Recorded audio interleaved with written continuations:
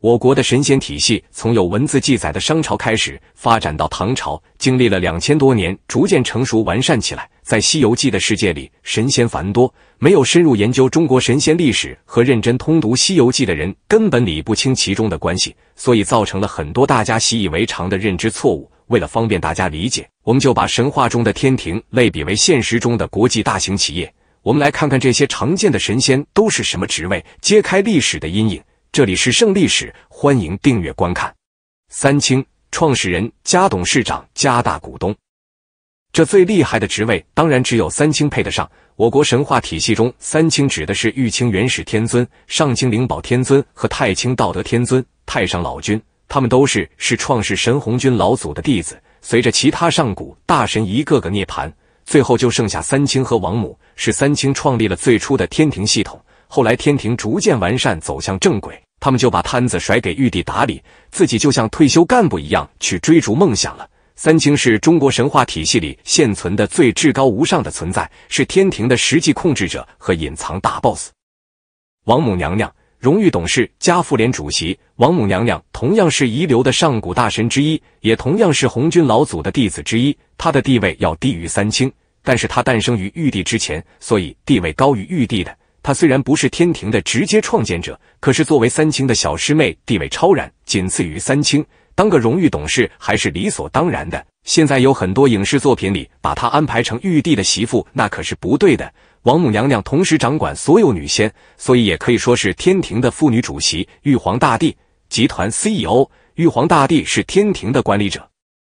在很多人认知里，玉帝就是神话体系里最厉害的。其实是不对的。玉帝只是三清任命的天庭管理者，就像大型企业里董事会挑选的 CEO，虽然地位尊贵，但是说白了就是高级员工。所以在有些影视作品中，太上老君对玉帝点头哈腰，任凭差遣，那是不可能的。要知道，太上老君可是玉帝的老板哟。另外，玉帝法力高深，远远不是孙悟空所能比拟的。在八六版《西游记》中，玉帝被孙悟空吓得躲在桌子下，也是原著中没有的。李靖等。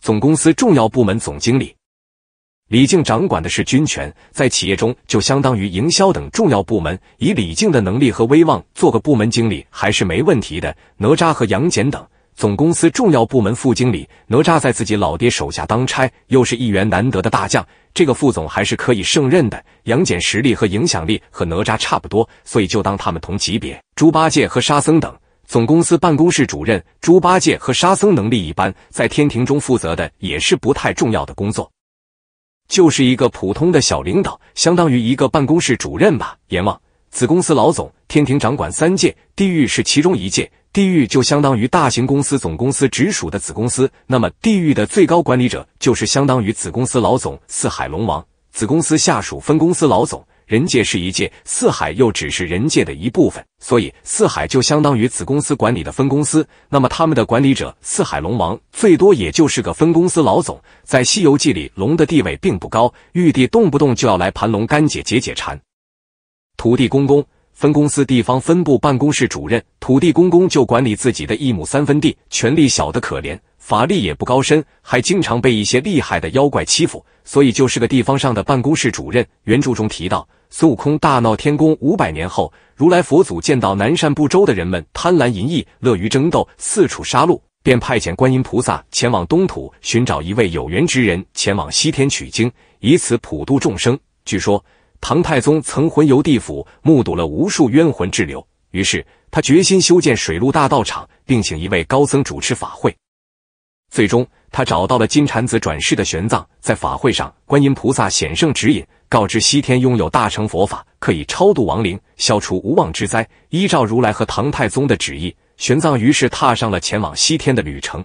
但这些真相吗？如果你细读唐僧历经的十个国家，你会意识到，取经的最终目标并非为了普渡大唐，而是西天的一场阴谋。事实上，西天的秘密早在一开始时就已经泄露了。众所周知，唐僧在旅途中遇到的第一个妖怪是银将军，一只修炼成精的华北虎。当时唐僧心急赶路，结果误入陷阱，落入了银将军及其同伙的手中。然而这几个妖精都是初出茅庐的小妖，甚至连吃唐僧肉可以长生不老这样的基本信息都未曾听闻，因此他们虽然抓住了唐僧，却没有直接动手吃掉他，而是先处理了唐僧的两个仆从。在大唐地界内的妖怪，与西天脚下的狮驼岭、比丘国相比，简直是天上与地下的差距。这也证明了西天取经的旅程越往西走，越显得凶险阴暗，绝非如来所描述的那种不贪不杀、养气乾灵的地方。而与之相比，贪淫乐祸、多争多杀的南赡部洲却显得安定了许多。在得到了太白金星的救助之后，急于逃命的唐僧又被山中毒虫猛兽包围。幸亏猎户刘伯钦及时出现，才得以保住性命。刘伯钦驱赶了猛兽后，将唐僧带回家中细心招待。那天正逢刘伯钦父亲的忌日，刘母因此请求唐僧为其进行超度。唐僧欣然答应了。之后，刘父在夜里托梦给家人。告诉他们，已经因一位高僧的超度而消除了罪业。阎王还允诺，他将转世到一个福地长者的家庭。在唐僧和李世民的眼中，取经的目的是获取大乘佛法，以普度众生。然而，只讲小乘佛法的唐僧，依然具备让亡者飞升的能力。根据这一设定，尽管西天的大乘佛法很出色，但对大唐来说，小乘佛法其实已经足够。既然取经的目的并非单纯为了取经，那他究竟是为了什么呢？记得那时，唐僧在西行的旅途中，先后途经了宝象国、乌鸡国、车迟国等十个国家。当我们回顾这些国家的状况时，会发现这些国家或多或少都存在一些问题。某些国家君王昏庸，另一些国家妖怪肆虐，没有一个能像大唐那样繁荣昌盛。先说说宝象国，书中记载，这个国家地虽千里外，景物一般饶。然而，尽管如此富庶，这个国家却在整整十三年里找不到失踪的公主。直到唐僧进城后，国王才得知女儿的下落。黄袍怪栖息的丸子山，距离宝象国的都城不过一百多公里。作为一国之君，却对国内隐匿的大妖一无所知，实在让人难以理解。然而，当宝象国准备讨伐黄袍怪时，满朝文武竟无人敢于率兵降妖。国王的无能与臣子的怯懦，使得整个朝堂找不到一个可以派上用场的人。如果是在大唐，只需唐太宗一声令下，立刻会有勇猛的虎将挺身而出。这宝象国的国王确实平庸无能，而乌鸡国的国王却虚伪狡诈，这也是事实。当年乌鸡国王因体恤民情、善待僧侣，才获得了金身罗汉的殊荣。然而后来文殊以一个凡僧的身份来考验他。仅仅因为几句言辞相悖，乌鸡国王便将文殊绑起，浸泡在河水中整整三天三夜。如果不是文殊拥有六甲金身，他可能早已在乌鸡国丧命。正是由于这件事，西天派遣青毛狮子下凡，将乌鸡国王推入井中浸泡了三年。然而问题在于，虽然乌鸡国王起初确实有过错，但一个和尚对君主的顶撞本身就不合适。结果西天却让其受到十倍的惩罚，这究竟是乌鸡国王小气，还是西天过于苛刻呢？来到车迟国后，问题变得更加复杂。车迟国国王亲近小人，疏远贤臣，只因为三个妖道暂时解决了车迟国的燃眉之急，并承诺让国王长生不老，国王便任凭他们行事，导致朝纲混乱，人才凋零，大批佛教徒遭到迫害致死。尽管孙悟空已经为车迟国清除了妖孽，车迟国王却依然固执不改，整夜为三妖悲泣不已。到达西凉女国后，这个国家里全都是女性，通常男性在这里地位极为低下。然而，当女儿国国王得知唐僧是李世民的义弟时，便一心想让他留下来成为驸马，因为这样一来，女儿国就能得到一个强大的靠山。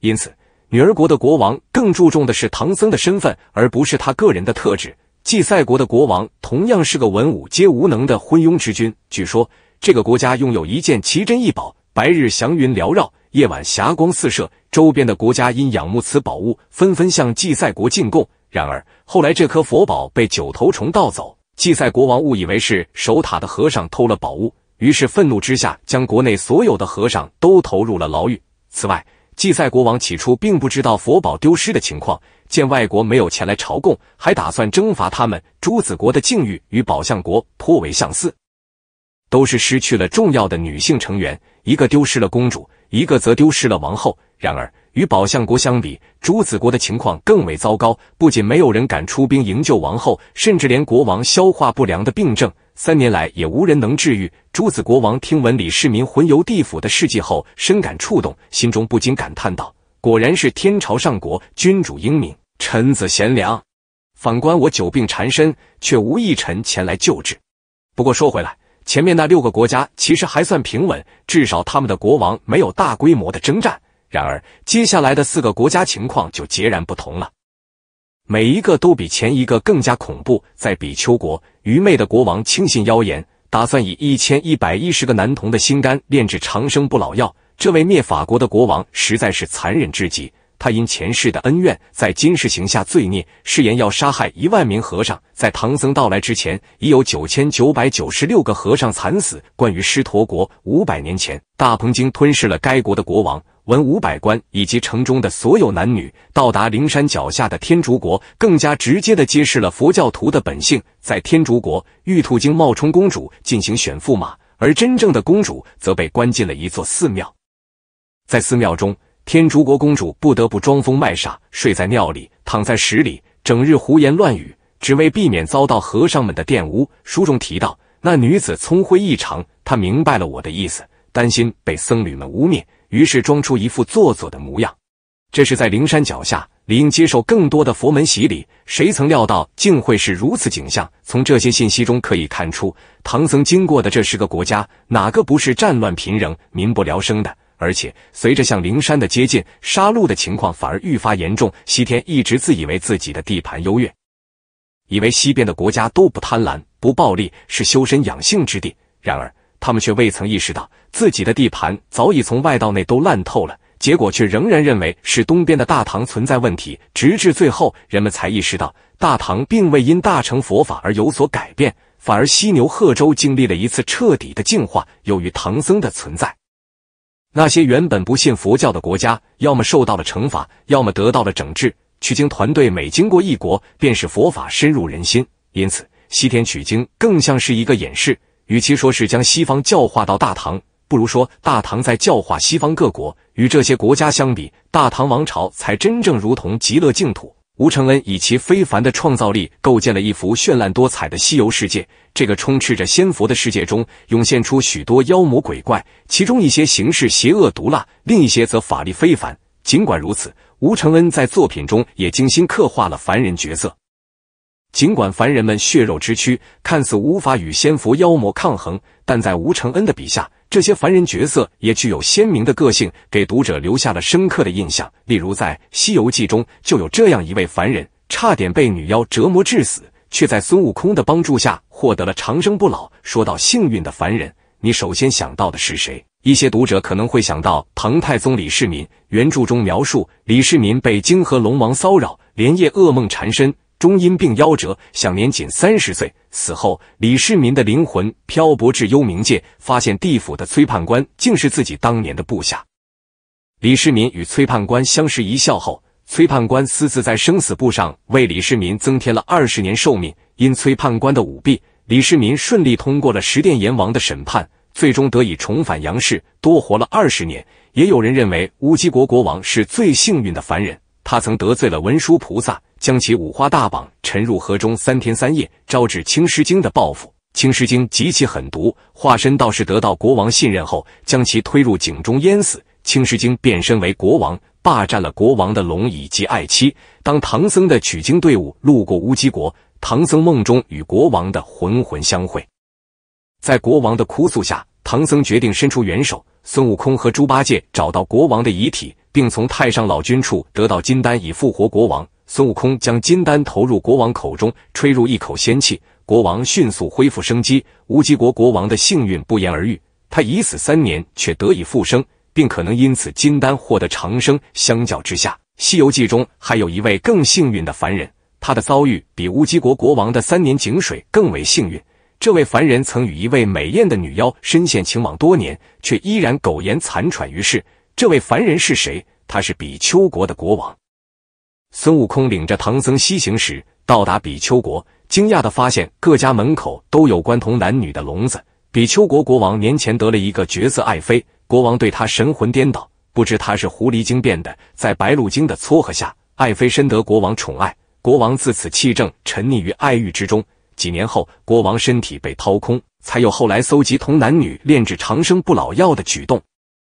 比丘国国王不知从何修来的福分，濒死之际得到孙悟空的援手，不仅避免了死亡，还有机会长生不老。孙悟空与白鹿精大战后，白鹿精的主人南极仙翁出面调解，孙悟空为了给南极仙翁留面子，放过了白鹿精。孙悟空让南极仙翁陪同前往比丘国揭示真相。南极仙翁到达比丘国后，国王设宴款待，恭请南极仙翁为首席。国王随后向南极仙翁请求延寿秘法，南极仙翁出于礼貌，送给国王三枚仙枣。这三枚仙枣令国王恢复健康，甚至可能达到长生不老。